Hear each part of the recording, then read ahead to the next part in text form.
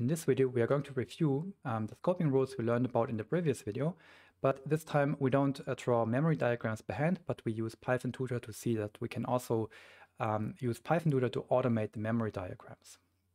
So let's go to Python Tutor. Let's click on Start Visualizing Your Code. And now we have to write our code right here in the browser. And we're going to use the same uh, exa example as in the previous videos. So given a list of numbers that contains even and odd numbers, um, find the average of all the even numbers in the list. So let's first go ahead and create a numbers list. And uh, we give it the numbers 7, 11, 8, 5, 3, and 12, 2, 6, and 9. 10, 1, and 4. So these are the numbers from 1 through 12 without any particular order. Now let's go ahead and create a function. Let's call it um, average evens as in the previous video. So let's say define average evens. Let's uh, write down the parameter list as a parameter for now. We are going to uh, specify the parameter as simply integers. We will change that in a bit and the line with a colon. Now we should uh, put down the, the, the doc string here.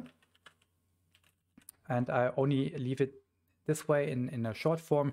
Um, but uh, in the long form, especially in Jupyter Notebooks and wherever you develop code, you should please uh, go ahead and uh, in your own interest, uh, use a good doc string, su such as we learned in the previous videos. But now let's focus on only the code inside the function. So we are going to first create a second list that has um, only the even numbers in it, and we use a list comprehension to do that. So let's go ahead and write n for n in numbers or in integers. That was already almost the first mistake I made. So we have to refer to, of course, the uh, parameter specified as the input to the function. So n for n in integers. If n divided modulo divided by 2 has no rest, so that is the mathematical de uh, definition of an even number, Let's assign the, the new created list uh, to a variable called evens. In the next step, we calculate the average to be um, the sum of all the evens divided by the length of all the evens, so the number of even numbers. And in the last line, uh, we have to specify um, what is going to be returned at the end as the result of the function. And uh, we are going to return a reference to the average. Okay, and now we have to call the function. And what we are going to do is we are going to assign the result to a, a variable called result. And we simply go ahead and now we call the function average evens. And we give it the numbers list. And let's maybe do two examples. So at first we will create a result one, and then we are going to create a result two. And result two will, is going to be average evens and we don't give it the numbers list, but we are going to create a list object on the fly. So um, we are going to create a list with the numbers 40, 41, 42, 43 and 44. And again, why would I uh, choose these numbers? Well, it is always good to test the function with input for which we can predict the output. And the output uh, should be uh, 42 here, 42.0 to be exact. Okay, so let's now click on Visualize Code and let's see what's going to happen. On the left-hand side in the memory, we have uh, frames and uh, previously, um, uh, and especially in the, uh, my hand-drawn diagrams, I call that uh, left part just names. Frames, we will see uh, now in this video where the, where the term comes from. And on the right-hand side, we have the object. So let's first um, execute the first line and create um, a numbers list. So we have um, a name, uh, called numbers, a variable that references a list with the numbers. And again, as mentioned previously, um, the, the numbers are actually not inside the list, but the list only contains references, so arrows to integer objects. That would be the precise picture, but um, I would just remind you that Python Tutor does some simplifications when showing the memory. Now, next step, note how the entire def statement, so all the function body here, is going to be executed in one step. So if I click next, the red arrow is going to go down to result one, as you will see. And that means in memory on the right hand side, we create um, a function object, so an object of type function that does not contain, contain, let's say, references to numbers, just like the list does, but it contains the actual code that is in the body um, of the function. And on the left-hand side, in the global frame, it says average evens. So that is the name. Okay. And now let's go ahead and call the function that's executed with a reference to the numbers list. Okay, so let's do that. So what we see is what's going to happen is we get a new blue box here. And we see also the upper box, it's actually a box. So we see here is a gray line on the left-hand side. So this is actually a box. The box has um, the, the name global frame. And down here, the box has the name of the function we are currently executing. So the function to which it um, yeah, belongs. And what that means is Python manages um, where we can see which variable. That is basically what scoping rules are. So um, we see that numbers and average evens are in the global frame. The global frame is a special frame that is visible from everywhere within the program. And uh, the average evens frame basically includes only the, the, the names of variables that live as the function is being executed. And the first um, name that is created is the formal parameter integers.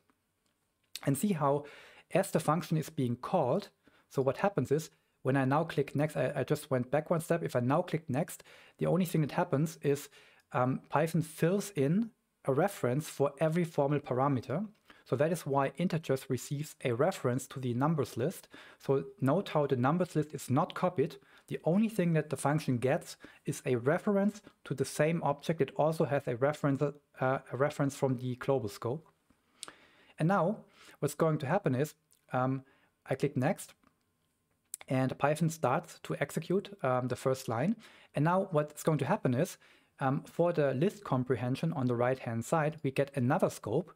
So that means all the variables, so in particular the, um, the letter n, the, the variable with just the letter n, only lives inside the scope of the list comprehension. So what we see is a list comprehension. We saw that in previous videos. It's basically just a hidden for loop. So we see how um, we are basically looping over all the numbers one by one that are in the numbers list. And once we are done, what's going to happen is the list comprehension on the, as the uh, scope on the left-hand side disappears. And the result is we get back a list object. So that is the return value, so to say, of the list comprehension. And a reference to that is stored under the name evens. And the name evens, as we see, is inside the blue box that um, belongs, that, that models the scope of only the function as it is being executed. So in other words, the color blue just indicates what is the current frame that is active. And uh, all the boxes on the left-hand side, technically speaking, these are what we refer to as frames. That is why Python Tutor um, has the header here called frames. I uh, prefer to use names in my diagrams and frames are just a concept by which the names are basically grouped together, okay? And now what we see is we have a second list here, uh, a copy, or basically we have, um, um, yeah, uh, second list that in the worst case scenario, if the first list contains only even numbers would be the same size. So again, uh, note how previously when we comp compared different solution approaches to this uh, particular example, we saw how uh, one solution approach did not need a second copy, a, a second list object, but some do. And the approach we're using here actually does need a second list object. So that is a memory implication here. And um, note how in the next line, as we go ahead, we use the evens um, name inside. So uh, in the next line where we divide the sum of evens by the length of evens, Python uh, looks up the variable from within the scope, from the innermost scope, the currently active scope.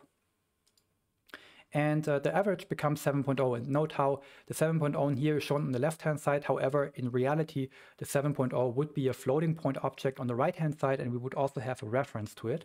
That would be the, the whole truth and nothing but the truth. And um, now what's going to happen is we are at the last line of the function and uh, in the function body, and this is the return statement. And whenever a function um, is executed and hits a return statement, the function immediately stops. The function is over no matter where the return statement is within the function. And here we only have one, so that makes it simple. And then the expression on the right-hand side is being evaluated and a reference to the resulting object is going to be returned. So in other words, um, the reference to the 7.0 um, floating point object that is really on the right hand side here, that is going to be returned and stored under the variable called result1. And result1 is going to be in the global scope again, okay? And then what we see is, after the function is done, the local scope of the function, the average even scope here, it totally goes away. It disappears. And all the names are gone. And because the names are gone, also the name evens is gone. And because the list object with the even numbers only has one reference from the evens name, the list object will be garbage collected after it uh, after its last uh, reference goes away. Okay, so this is why the list object here um, is also basically um, going away. Okay, so that was um, how we um, calculated or how we executed the function given um, input that also lives in the outer scope as the numbers list. And now let's do um, this a second time. But this time we are not giving the function a reference to an object that already exists, but instead we basically create a new object, a new list object on the fly. That's usually what programmers say. We create it on the fly, and then we give it immediately to the as the argument uh, for the integers parameter to the to the function. Therefore, what's going to happen is this time we also get a new scope here, average evens, and this time we have a reference to a list that was the input, but this time the list has only one reference. Before that we had uh, two references to the outer numbers list, but this time we only have one reference. That also means, it, that implies that after this function call is over, this list object that was the input to the function call is also going away by garbage collection. Okay, so that's the difference. So sometimes the input survives if it, and that is the case if it lives before in the in the global scope. But um, if we create a list object on the fly, then this would also be garbage collected. So let's go ahead and see that basically the uh, function is going to run again. So the whole purpose of having functions in the first place is to reuse them. That is the idea of functions. So giving names to particular pieces of code, but also reusing this code. That's the whole purpose. So now we are running the same code again. And we see the list comprehension runs again. And this time we get um, a second list, which is uh, smaller than the first one, which only contains the even numbers. We store it under the name evens, and then we are going to calculate the average. And also again, the 42.0 uh, floating point object would also be on the right-hand side, of course, and the average is just a reference to this object. And then um, we see in the next step, um, we get as the return value, that's the only thing that's going to survive after the function is done, the 42.0. So these two 42.0s are actually the same 42.0. And then this is given back to the global scope and uh, uh, stores the variable result as 42.0. So these are two examples of how to execute um, functions. And now what do we learn from this? We learn the rule number one, the scoping rule number one, that local scope goes away. And local scope is um, the scope that belongs to one function call as it is being executed. And after the execution is done, then the local scope disappears. That is rule one. Okay, let's click on edit this code and let's um, change the example a little bit. So let's first of all get rid of the uh, second function call here. That was just to illustrate a point. Also get rid of the one here, of course. And now let's do the following. Or maybe let's construct another example. Let's make on purpose a mistake. So let's go ahead and instead of using the formal parameter integers that we have here, let's refer to here to the global numbers object. And now, of course, um, maybe it's actually a good idea to keep um, the second example. So that will illustrate a point uh, further on. So let's uh, get the second example back. So let's have 40, 41, 42, 43, and 44. So now what's the difference? The difference here is that I made a mistake on purpose. So instead of using the formal parameters integers, I'm referring to numbers. Okay, so now let's see what that means as the program runs. We create the global object numbers again. We create the function object, uh, object again, and we see that functions are just objects, just like anything else. Now we call the function again and pass it as the input a reference to the outer list, and we call it integers. Now, in the next step, the list comprehension starts to run, and the list comprehension actually refers to numbers as we see, and that, that was on purpose a mistake. However, so now as the list comprehension runs, these numbers are drawn via the numbers variable. So list comprehension, the list comprehension tries to look up numbers and it goes into the function scope, so one scope up but it does not find it. So what the list comprehension does is it goes one further step up, and then in the global uh, scope, in the um, outermost scope, so to say, it finds the variable numbers, and then it looks up um, the list, and this is where the numbers come from. So uh, these numbers, the n's here, they do not come from the reference that starts at integers from the uh, function scope, but the, the numbers n, they come actually from the numbers reference up here in the, in the global scope. So let's do that. And luckily, because both references here go to the same list object, we actually get the correct result. Okay, so if we calculate the result, it will still be 7.0. However, now we are going to uh, create um, a new um, a new list object with the numbers 40 uh, through 44 and uh, the formal parameter integers is going to refer it. And now we are going to calculate the average of the evens, and we should calculate the average of the evens of this list. However, because there is a mistake in the code, we use numbers instead of integers. What's going to happen is the list comprehension starts to run and it tries to look up the, the n's, but it does not look up numbers. Or so it tries to look up numbers. It does not find numbers here again as before. And this time it also finds numbers up here, but this time numbers and integers go to two different lists. Therefore, we see that the n's down here in the list comprehension, they come from the outer numbers list, which is actually a semantic mistake. Okay, so if we uh, run through this, then we get back um, a new evens list, and the evens are drawn from the outer numbers list, and that's a mistake. Okay, and if we now calculate the average, we get back 7.0 again, and that is of course wrong, right? So if we calculate the average of the numbers 40 through 44 here, we should get 42.0. So that's, an, that's a mistake. And that shows us the second rule, the second scoping rule. And the rule is that global scope is everywhere. And what do we mean, what do we mean by this rule? Well, we mean that, let, let me go back a couple of steps. Whenever we have several scopes, just as we have here the global scope, the function scope, and the list comprehension scope, what happens is Python will, from inside out, look up the variables. And the first one it finds that's the one it uses. And, if, and it, if it does not find a variable in the inner scope, then it goes to the outer scope. And if it finds it, then this works. Okay, it can see. So from the inside, we can see the variables on the outer side, but the other way is not possible. Okay, so and uh, that is a common source of errors. And now let's go back and modify the example um, even more to, to see the third rule uh, for scoping. So let's go ahead and um, now rename the formal parameter integers into simply numbers. And now uh, we could also keep both examples here. That's not a big deal. But now we have numbers as the formal parameter. And we also have numbers here um, as the um, outer list object. So let's see what happens.